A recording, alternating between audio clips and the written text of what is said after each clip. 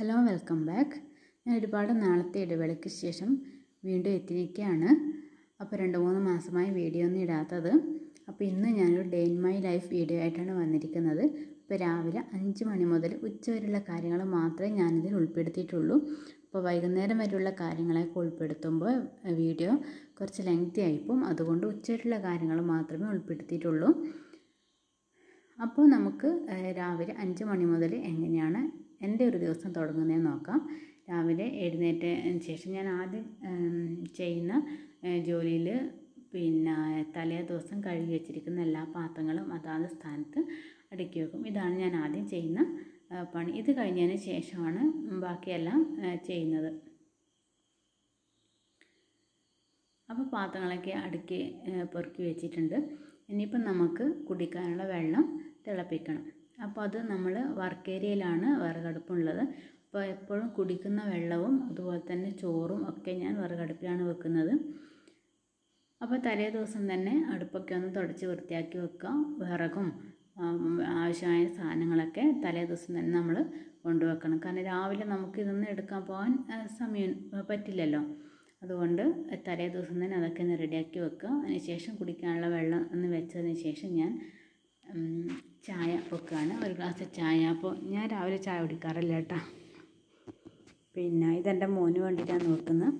അപ്പം മോനിപ്പോൾ പത്താം ക്ലാസ്സിലാണ് പഠിക്കുന്നത്. അതുകൊണ്ട് ഞാൻ എഴുന്നേറ്റ് കുറച്ച് സമയം കഴിയുമ്പോൾ തന്നെ മോൻ എഴുന്നേറ്റ് വരും. പിന്നെ മൂത്തയാൾ മോളാണ്. മോളിപ്പോൾ എറണാകുളത്ത് അവിടെ നിന്നിട്ട് പഠിക്കുകയാണ്. അപ്പോൾ ചായ റെഡി ആയിട്ടുണ്ട്. ചായയൊക്കെ റെഡിയാക്കി മോന് കൊടുത്തതിന് ശേഷം പിന്നെ എനിക്ക് കുറച്ച് അരി അരച്ച് വെക്കാനുണ്ട്. അപ്പോൾ തലേ ദിവസം ഞാൻ അരി കുതിർക്കാനായിട്ട് വെള്ളത്തിലിട്ടിട്ടുണ്ട്. അപ്പോൾ ഇതിൽ അരിയും ചോറും മാത്രം ചേർത്തിട്ടുള്ള നമ്മുടെ ഒരു കണ്ണൂർ സ്പെഷ്യൽ ദോശയാണ് കേട്ടോ ഉണ്ടാക്കുന്നത്. അപ്പോൾ പച്ചരിയും അതിലേക്ക് കുറച്ച് ചോറ് ഒരു ഒന്നര തവിയോളം ചോറ് ചേർത്തിട്ടുണ്ട്. എന്നിട്ട് ഇത് രണ്ടും കൂടെ മിക്സിയിൽ നല്ലപോലെ ഒന്ന് അരച്ചെടുക്കണം. ഇപ്പോൾ തലേ ദിവസത്തെ ചോറ് ബാക്കിയൊന്നും ഇല്ലെങ്കിൽ കുറച്ച് നിങ്ങൾ തേങ്ങ ചെറിയത് ചേർത്ത് കൊടുത്താൽ മതിയാവും. ചെറിയ തേങ്ങയില്ലാന്നെങ്കിൽ അരമുറി തേങ്ങ ചേർത്ത് കൊടുക്കുക. അല്ലെങ്കിൽ അരി അരക്കുന്നതിന്. ഇത് രണ്ടും ഇല്ലെങ്കിൽ അരി അരക്കുന്നതിന് ഒരു അഞ്ച് മിനിറ്റ് മുന്നേ അവിലുണ്ടെങ്കിൽ അവിൽ നല്ലപോലെ കഴുകിയിട്ട് ഒരു അഞ്ച് മിനിറ്റ് സമയം കുതിർക്കാൻ വെച്ചതിന് ശേഷം ഈ അരിന്റെ കൂടെ ചേർത്തിട്ട് അരച്ചാലും മതിയാവും. എന്നിട്ട് നല്ലപോലെ ഒന്ന് അരച്ച് വെക്കുക. അപ്പോൾ അരിയൊക്കെ അരച്ച് റെഡിയാക്കി വെച്ചതിന് ശേഷം ഇനി എന്റെ മുറ്റമടിക്കലും കുളിയും ഒക്കെ കഴിഞ്ഞതിന് ശേഷം മാത്രമേ ഞാൻ കിച്ചണിലേക്ക് വരുള്ളൂ. അപ്പോൾ അതുവരെ ഇതിവിടെ നിൽക്കട്ടെ. അപ്പോൾ ഇനി എന്റെ മുറ്റമടിക്കലും കുളിയും ഒക്കെ കഴിഞ്ഞിട്ടുണ്ട്. ഇനിയിപ്പോൾ നമുക്ക് നമ്മൾ നേരത്തെ അരച്ച് വെക്കുമ്പോൾ ഉപ്പൊന്നും ഇട്ടിട്ടില്ല. അതുപോലെ തന്നെ ഉപ്പ് ചേർത്ത് കൊടുക്കുക. പിന്നെ പാകത്തിന് വെള്ളം കൂടെ ചേർത്ത് കൊടുക്കുക. പിന്നെ ഈ ഒരു സമയത്ത് ഞാൻ കുളിക്കാൻ പോകുന്നതിന് മുന്നേ കുക്കറിൽ കുറച്ച് ചെറുപയർ കഴുകി വെച്ചിട്ടുണ്ടായിരുന്നു. ദോശക്ക് കറിയാക്കാൻ വേണ്ടിയിട്ട്. അപ്പോൾ ചെറുപയറും അതിലേക്ക് അരക്കഷ്ണ സവാളയും രണ്ട് പച്ചമുളകും ആവശ്യത്തിന് ഉപ്പും കാൽ ടീസ്പൂൺ മഞ്ഞൾപ്പൊടിയും കൂടെ ചേർത്ത് വേവിക്കാൻ വെച്ചതാണ്. അപ്പോൾ അത് കുളിച്ചിട്ടൊക്കെ വരുമ്പോഴേക്കും അത് വെന്തിട്ടുണ്ട്. വെന്തതിന് ശേഷം ഞാൻ അതിലേക്ക് തേങ്ങ ചിരകിയാണ് ഇട്ട് കൊടുത്തത്. കാരണം തേങ്ങ അരച്ചിട്ടൊന്നുമില്ല. സിമ്പിൾ കറിയാണ്. നല്ല ടേസ്റ്റിയാണ്. അതിലേക്ക് രണ്ട് തണ്ട് കറിവേപ്പിലയും രണ്ട് ഉണക്കമുളകും കൂടെ പൊട്ടിച്ചിട്ടതിന് ശേഷം പച്ച വെളിച്ചെണ്ണ നനച്ച് കൊടുത്താൽ മതിയാകും. അതിൽ കടുക് വറുത്തിടേണ്ട ആവശ്യമില്ല. അപ്പോൾ നമ്മുടെ ദോശക്കുള്ള ചെറുപയർ കറി അവിടെ റെഡി ആയിട്ടുണ്ട്. അപ്പോൾ ഈ ദോശയും നമുക്ക് പെട്ടെന്ന് ചുട്ടെടുക്കാൻ വേണ്ടി പറ്റുന്നതാണ്. ഇപ്പോൾ രാവിലെ എല്ലാം കൂടെ എനിക്ക് വീഡിയോ എടുക്കാനുള്ള ബുദ്ധിമുട്ടുകൊണ്ടാണ് ഞാൻ ബാക്കി എല്ലാ കാര്യങ്ങളൊന്നും എടുക്കാതിരുന്നത്. പിന്നെ ഇപ്പോൾ തന്നെ സമയം എട്ട് മണി കഴിഞ്ഞു. അപ്പോൾ മോനിപ്പോൾ തിരക്കാക്കിക്കൊണ്ടേ ഇരിക്കുന്നുണ്ട്. എട്ടരക്കാണ് സ്കൂൾ ബസ് വരുന്നത്. അപ്പോൾ അവൻ എന്നോട് പറയുന്നതാണ് അമ്മ ആയ ദോശ തന്നെ ബാക്കി അമ്മ ചുട്ടോ ചുട്ടുകൊണ്ട് നിൽക്കുമ്പോൾ തന്നെ എനിക്ക് തന്നാൽ മതി എന്നാണ് പറയുന്നത്. അപ്പോൾ രണ്ട് ദോശ ആയിട്ടുണ്ട്. അപ്പോൾ നമുക്ക് അടുത്തതും കൂടെ ചുട്ടെടുക്കാം. അപ്പോൾ ആയ ദോശ ഞാൻ മോന് കൊടുത്തിട്ടുണ്ട്. അവൻ കഴിച്ചതിന് ശേഷം സ്കൂളിൽ വിട്ടതിന് ശേഷം നമുക്ക് ബാക്കിയുള്ള കാര്യങ്ങൾ ചെയ്യാം. അപ്പോൾ അവൻ സ്കൂളിൽ പോകാൻ വേണ്ടി മുറ്റത്തിറങ്ങിയപ്പോൾ കുറച്ച് ചെടികളുടെ വീഡിയോ ഒന്ന് എടുത്തതാണ്. അപ്പോൾ ഒരുപാട് ചെടികളൊന്നും ഇല്ല. മഴയൊക്കെ ആയതുകൊണ്ട് തന്നെ ഒരുപാട് ചെടികളൊക്കെ നശിച്ചു പോയിട്ടുണ്ട്. അപ്പോൾ കുറച്ച് ചെടികളൊക്കെ ഞാൻ മഴ കൊള്ളാതെ പിന്നെ വീടിനോട് ചേർന്നിട്ട് വെച്ച് കൊടുത്തതാണ്. അപ്പം ചെടികളുടെയൊക്കെ നല്ലൊരു വീഡിയോ ആയിട്ട് ഞാൻ പിന്നെ ഒരു ദിവസം വരുന്നതായിരിക്കും. അപ്പോൾ മക്കളൊക്കെ പോയി കഴിഞ്ഞതിന് ശേഷമാണ് ഞാൻ ഉച്ചക്കത്തെ ചോറും കറികളൊക്കെ തയ്യാറാക്കുന്നത്. അപ്പോൾ ഞങ്ങളുടെ ബ്രേക്ക്ഫാസ്റ്റൊക്കെ കഴിഞ്ഞു. അതുപോലെ തന്നെ കുടിക്കാനുള്ള വെള്ളമൊക്കെ തിളച്ച് അത് വാങ്ങി വെച്ചിട്ട് അതേ അടുപ്പത്ത് തന്നെ ഞാനിപ്പോൾ ചോറിനുള്ള അരി ഇട്ടിട്ടുണ്ട്. അപ്പോൾ നല്ലൊരു ഓലനും അതുപോലെ തന്നെ ഒരു വറവും നല്ല നാടൻ പുളിങ്കറിയൊക്കെ ആയിട്ടാണ് ഞാൻ ഇന്ന് വന്നിരിക്കുന്നത്. അപ്പോൾ നമുക്ക് ഓലിന്റെ കഷ്ണങ്ങളൊക്കെ ഞാൻ ഇവിടെ മുറിച്ച് റെഡിയാക്കി വെച്ചിട്ടുണ്ട്. ഒരു കഷ്ണം കുമ്പളങ്ങയും ഒരു നേന്ത്രക്കായയും ഒരു ചെറിയ കഷ്ണം ചേനയുമാണ് എടുത്തിട്ടുള്ളത്. അപ്പോൾ കായും ചേനയും മുറിച്ച പാടെ തന്നെ നമുക്ക് വെള്ളത്തിലിട്ട് വെക്കണം. അല്ലെങ്കിൽ അതൊരു കറുപ്പ് കളർ വരും. അപ്പോൾ ഇനി നമുക്ക് ഇതിലേക്ക് എരിവിന് ആവശ്യമായിട്ടുള്ള പച്ചമുളക് ചേർത്ത് കൊടുക്കണം. അപ്പോൾ പച്ചമുളക് എപ്പോഴും ഇതുപോലൊരു പാത്രത്തിൽ സൂക്ഷിച്ചു കഴിഞ്ഞാൽ ഏകദേശം ഒരു മാസമൊക്കെ നമുക്ക് കേടുകൂടാതെ വെക്കാൻ പറ്റും. ഇനി നമുക്കൊരു മൂന്ന് പച്ചമുളക് ഞാൻ ഇതിലേക്ക് ചേർക്കുന്നുണ്ട്. ഇത് ഒരുപാട് എരിവെന്നുള്ള പച്ചമുളകല്ല. അതുകൊണ്ടാണ് ഞാൻ മൂന്നെണ്ണം ചേർത്തത്. എരിവുള്ളതാണെങ്കിൽ ഒരു പച്ചമുളകൊക്കെ ചേർത്താൽ മതിയാവും. ഇനി നമുക്കിതിലേക്ക് പാകത്തിന് ഉപ്പും കൂടെ ചേർത്തതിന് ശേഷം കുറച്ച് വെള്ളം കൂടെ ഒഴിച്ചു കൊടുക്കുക. എന്നിട്ട് നമുക്ക് ഒരു രണ്ട് വിസിൽ വരുന്നതിന് ഒന്ന് വേവിച്ചെടുക്കണം. അപ്പോൾ ഈ ഒരു ഓലെന്ന് പറയുന്നത് നല്ല തേങ്ങാപ്പാൽ ഒഴിച്ച് വെക്കുന്ന ഓലിനാണ് അതുകൊണ്ട് തന്നെ നമുക്കിതിന്റെ അരമുറി തേങ്ങ നമുക്കിതിലേക്ക് പാൽ പിഴിയാനായിട്ട് എടുക്കണം. അപ്പോൾ ഈ തേങ്ങയുടെ ബ്രൗൺ കളറൊക്കെ ഒന്ന് ഒഴിവാക്കി എടുക്കുക. എന്നിട്ട് കുറച്ച് തേങ്ങ മിക്സിയിൽ മിക്സിയുടെ ജാറിലേക്ക് ഇട്ടിട്ട് കുറച്ച് വെള്ളം കൂടെ ഒഴിച്ച് കൊടുക്കുക. അതിനുശേഷം ചെറുതായിട്ടൊന്ന് അരച്ചെടുക്കാം. പിന്നെ നമുക്ക് ഞാൻ വെക്കുന്ന വറവെന്ന് പറയുന്നത് പാവക്കയും അതുപോലെ തന്നെ ഒരു കഷ്ണം ക്യാരറ്റും അര കഷ്ണം സവാളയൊക്കെ ചേർത്തിട്ടാണ്.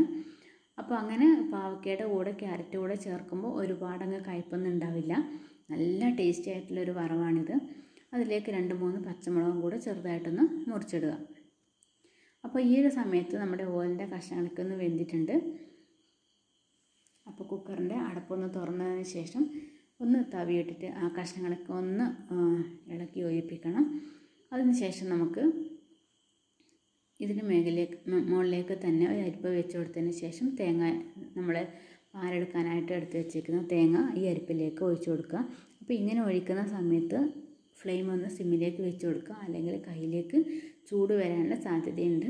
അതുകൊണ്ട് ഞാൻ എപ്പോഴും ഇങ്ങനത്തിനാണ് ചെയ്യുന്നത്. ഗ്യാസിൽ പിന്നെ കുക്കറിന്റെ മേലേക്ക് തന്നെയാണ് അരിപ്പ് വെച്ചിട്ട് ഡയറക്റ്റ് ആയിട്ട് തന്നെയാണ് ഞാൻ പാൽ ഒഴിക്കുന്നത്. അപ്പോൾ ഇങ്ങനെ അല്ലാത്തവർ വേറൊരു ബൗളിലേക്ക് തേങ്ങാപ്പാൽ എടുത്തതിന് ശേഷം കറിയിലേക്ക് ഒഴിച്ചു കൊടുത്താലും മതിയാവും.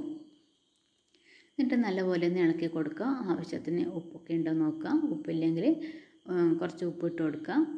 അപ്പോൾ ഞാനിവിടെ കുറച്ച് ഉപ്പിട്ട് കൊടുക്കുന്നുണ്ട്. അതിനുശേഷം നമ്മൾ ഈ ഓലിന് വറുത്തിടാറില്ല. തേങ്ങാപ്പാൽ ഒഴിച്ച് വെക്കുന്ന പോലെ നമ്മൾ പച്ച വെളിച്ചെണ്ണ നനച്ച് കൊടുക്കുക ചെയ്യുന്നത്. അപ്പോൾ അതുപോലെ തന്നെ ഒരു ടീസ്പൂൺ പച്ച വെളിച്ചെണ്ണ ഇതിലേക്ക് ഒഴിച്ച് കൊടുക്കുക. അപ്പോൾ നല്ലൊരു ഓലൻ ഇവിടെ റെഡി ആയിട്ടുണ്ട്. ഫ്ലെയിം ഓഫ് ചെയ്തതിന് ശേഷം എണ്ണ വെളിച്ചെണ്ണ ഒഴിച്ച് കൊടുത്താലും മതിയാകും. അപ്പോൾ നമ്മുടെ ഓലൻ ഇവിടെ റെഡി ആയിട്ടുണ്ട്. അപ്പോൾ ഇനി നമുക്ക് തയ്യാറാക്കേണ്ടുന്നത് പാവയ്ക്ക തോരനാണ്.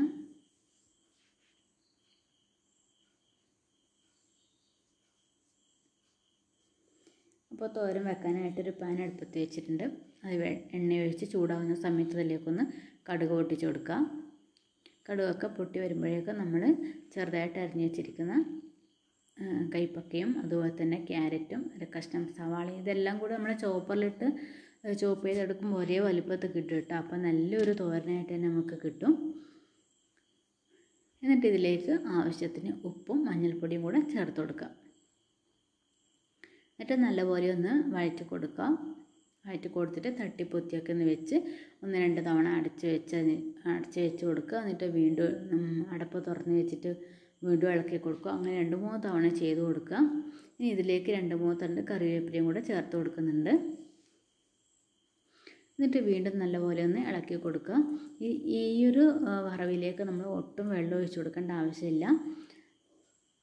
പിന്നെ ഒന്നാമത് നോൺ സ്റ്റിക്ക് പാത്രം ആയതുകൊണ്ട് തന്നെ അടിക്ക് പറ്റി അടിക്ക് പറ്റുന്നുള്ളൊരു വേവലാതിയൊന്നും വേണ്ട.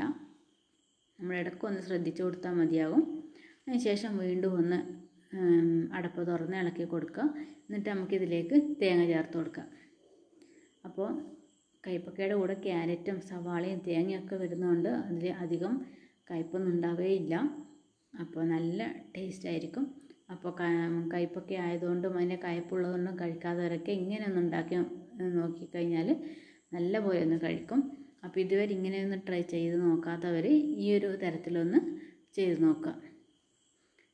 അപ്പോൾ നമ്മുടെ വറവ് ഇവിടെ റെഡി ആയിട്ടുണ്ട്. അപ്പോൾ നമുക്കിനി ഇതൊന്ന് സെർവ് ചെയ്യണം. ഇപ്പം നല്ല കളറും നല്ല രുചിയൊക്കെ ആയിട്ടുള്ള കയ്പക്ക തോരൻ ഇവിടെ റെഡി ആയിട്ടുണ്ട്. അപ്പോൾ ഞാനിതൊരു പാത്രത്തിലേക്ക് മാറ്റി കൊടുക്കുന്നുണ്ട്.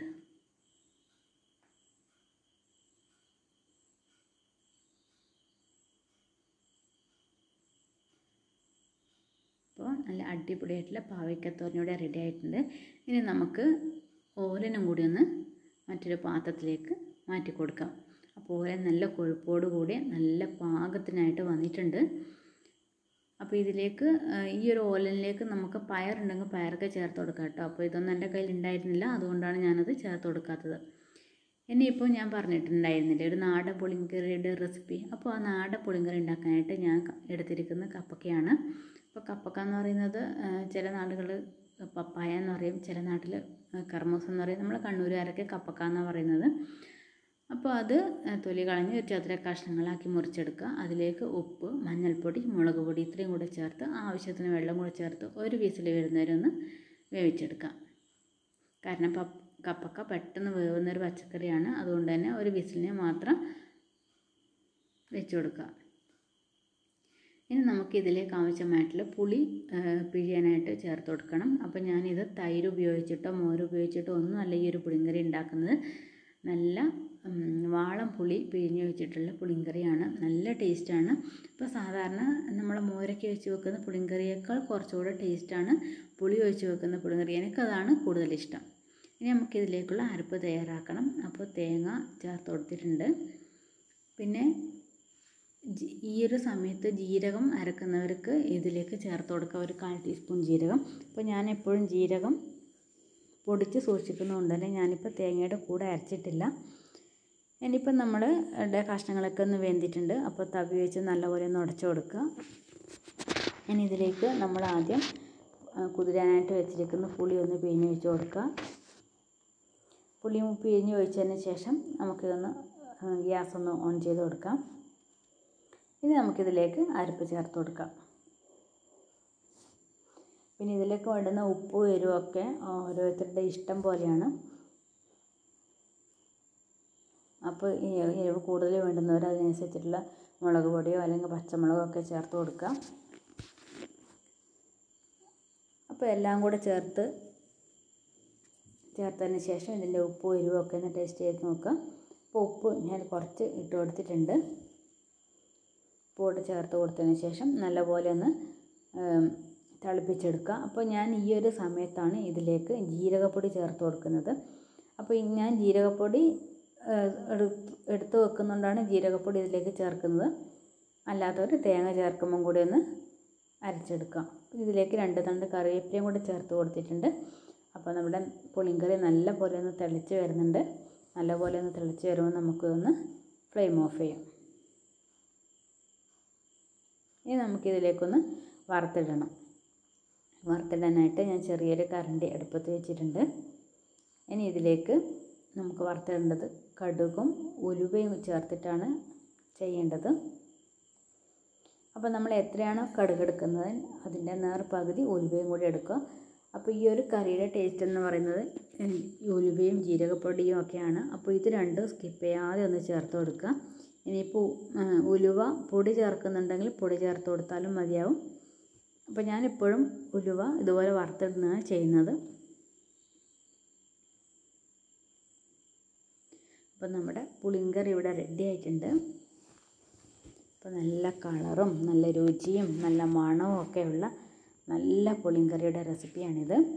അപ്പോൾ ഇതുപോലെ കറി പുളിങ്കറി വെക്കാത്തവരാണെങ്കിൽ ഇതുപോലെ ഒന്ന് ട്രൈ ചെയ്ത് നോക്കുക. എപ്പോഴും നമ്മൾ തൈരും മോരും ഒക്കെ ഒഴിച്ചിട്ട് പുളിങ്കറി വെക്കുമ്പോൾ ഒരു തവണ ഇതുപോലെ ചെയ്ത് നോക്കുക. അപ്പോൾ നമ്മുടെ പുളിങ്കറി കൂടി ഇവിടെ റെഡി ആയിട്ടുണ്ട്. അപ്പോൾ നമ്മുടെ ഈ ഒരു സമയത്ത് ഞാൻ ചോറൊക്കെ വാർത്ത് വെച്ചിട്ടുണ്ട് കേട്ടോ. വെള്ളമൊക്കെ ഊറാനായിട്ട് ചോറ് വാർത്ത് വെച്ചിട്ടുണ്ട്.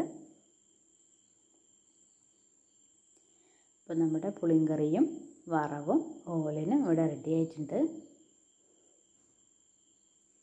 ഇനിയിപ്പോൾ നമ്മുടെ നല്ല കുത്തരിയുടെ ചോറ്. ആ ചോറും കൂടി ഇവിടെ റെഡി ആയിട്ടുണ്ട്. ഇനി ഇതൊക്കെ റെഡി ആയിക്കഴിഞ്ഞാൽ പിന്നെയുള്ള പണികളാണ് നമുക്ക് പാത്രം കഴുകാനുള്ളത്. അപ്പോൾ എന്നാലും ഒരുപാട് പാത്രങ്ങൾ ഇതിന്റെ ഇടയിൽ വരുന്നതൊക്കെ ഞാൻ അതാത് സമയത്ത് തന്നെ കഴുകി വെക്കുന്നുണ്ടായിരുന്നു. എങ്കിൽ മാത്രമേ നമുക്ക് അല്ലെങ്കിൽ പിന്നെ നമുക്ക് തന്നെ ഒരു മടി പിടിക്കും. അല്ലെങ്കിൽ പിന്നെ വിചാരിക്കും അതെല്ലാം ഭക്ഷണം കഴിഞ്ഞിട്ട് എല്ലാം കൂടി ഒന്നിച്ച് കഴുകാം. അപ്പോൾ അങ്ങനെ ചിന്തിക്കാനേ പാടില്ല. അപ്പോൾ നമ്മളൊക്കെ പാത്രങ്ങളൊക്കെ ഓരോന്നോരോന്നാവുന്നതനുസരിച്ചിട്ട് തന്നെ നമുക്ക് കഴുകി വെക്കാൻ പറ്റുന്ന പാത്രങ്ങളൊക്കെ അന്നേരം നേരം തന്നെ കഴുകി വെക്കുക. അല്ലെങ്കിൽ പിന്നെ ഇതൊക്കെ നമ്മൾ തന്നെയാണ് ചെയ്യേണ്ടത്. അതുകൊണ്ട് തന്നെ അതാത് സമയത്ത് നമ്മൾ പിന്നെ എന്തൊക്കെയാണോ പെരക്കി വെക്കുന്ന ആ പാത്രങ്ങളൊക്കെ അന്നേരം നേരം ഒന്ന് കഴുകി വെച്ചിട്ട് കിച്ചണൊക്കെ ഒന്ന് ക്ലീൻ ചെയ്ത് കഴിഞ്ഞാൽ നമുക്ക് ഉച്ചയ്ക്ക് ഉണ്ണേണ്ട സമയമാകുമ്പോഴേക്ക് മാത്രം നമുക്ക് കിച്ചണിലേക്ക് വന്നാൽ മതി. അപ്പോൾ എങ്കിൽ നമ്മുടെ പണികളൊക്കെ ഒന്ന് ഈസി ആയിട്ട് വരുള്ളൂ. പാത്രങ്ങളൊക്കെ ഒന്ന് കഴുകി ഇവിടെ വെള്ളാറാനായി ആയിട്ട് എടുത്ത് വെച്ചിട്ടുണ്ട്.